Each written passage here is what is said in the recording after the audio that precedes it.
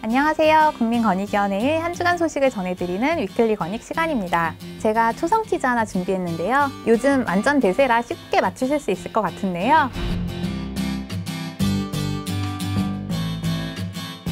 정답은 달고나입니다. 먹는 달고나? 아니 아니 아니고요. 국민권익위원회에서 준비한 청년 웹드라마 달고나 시즌2가 드디어 공개됐습니다. 인기 아이돌부터 전현희 위원장님까지 출연진도 화려해서 더욱 기대가 되는데요.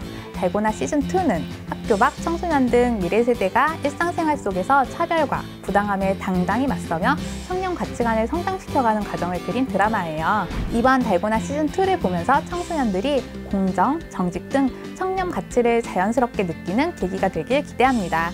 달고나 시즌2를 만나고 싶은 분은 권익비전 구독, 좋아요 꾹꾹 눌러주세요. 성장기 청소년 학생들이 고르게 영양을 섭취하고 건강하게 자랄 수 있도록 돕기 위해 저소득층 학생에게 무상으로 우유를 지원하는 제도가 있는데요. 저소득층 학생에게 지원하는 우유의 공급 수량을 속여 빼먹거나 공급이 금지된 저가 가공 우유를 배송하는 수법으로 2년간 정부 보조금 15억 원을 빼돌린 부도덕한 업체가 국민권익위원회의 실태조사로 적발됐습니다.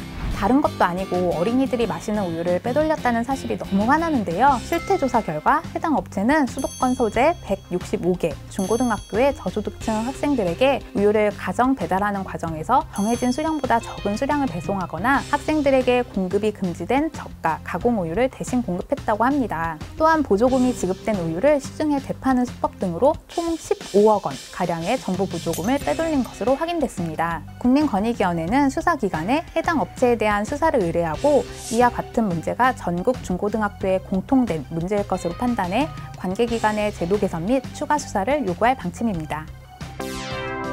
가로수에 가려서 어린이 보호구역 내 속도 제한 표지판을 못 봤어요. 우회전 금지 표지판도 안 보이네요. 운전하시는 분들은 비슷한 경험이 한 번쯤은 있으실 것 같은데요. 도로변에 줄지어 서 있는 가로수를 보면 참 아름답지만 가로수가 속도 제한, 진입 금지, 어린이 보호구역 등 교통 안전 표지를 가린다면 운전자는 표지판 확인을 위해 급하게 속도를 줄이게 되거나 심지어 역주행까지 하게 돼서 교통사고 위험이 높아지게 됩니다. 이런 안전 위험 문제를 개선하기 위해 국민권익위원회가 해결사로 나섰습니다. 국민권익위원회 경찰 옴부즈만은 전라남도 전남 경찰청과 함께 관내 교통안전을 저해하는 가로수 정비 사업을 전국에서 처음으로 추진하는데요. 국민권익위원회는 사업을 총괄 모니터링하고 전남 경찰청은 사고 다발 지역, 어린이, 노인 보호구역 등을 중심으로 교통안전 표지를 가리는 가로수를 조사하기로 했고요. 전라남도와 시군은 전남 경찰청과 함께 순차적으로 가로수 이설, 제거, 가지치기 등을 진행하기로 했습니다. 국민권익위원회는 이번 사업을 토대로 내년에는 전국적으로 사업을 확대해 나갈 계획입니다. 지금 전화를 들고 계신 분까지는 주문 가능합니다. 이런 멘트 많이 익숙하시죠? 네, 바로 홈쇼핑에서 나오는 단골 멘트인데요.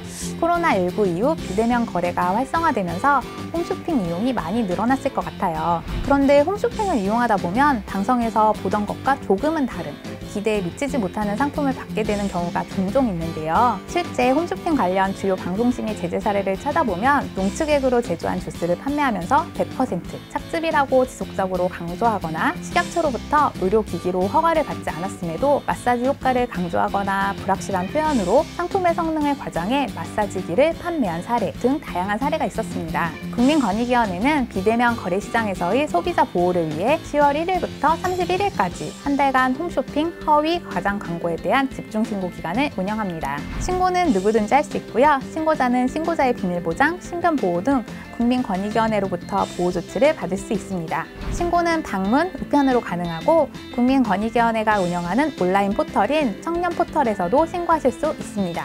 홈쇼핑의 부정확한 제품 정보 제공으로 인한 소비자의 피해는 더 이상 없어야겠죠? 여러분들의 적극적인 신고 기다리겠습니다. 이번 주에도 국민권익위원회의 다양한 소식 전해드렸는데요. 더 많은 소식, 자세한 내용이 궁금하시면 국민권익위원회 페이스북, 트위터, 블로그 또는 누리집에서 배포되는 보도자료를 참고해주세요. 가을이 오나 싶었는데 다시 여름이 온 것 같아요. 시원한 가을 날씨가 그립네요. 진짜 가을이 빨리 오기를 기다리며 낮 동안 기온이 오르지 못하고 날이 서늘하다고 하는데요. 낮 기온도 예년 이맘때 수준을 밑돌겠는데요.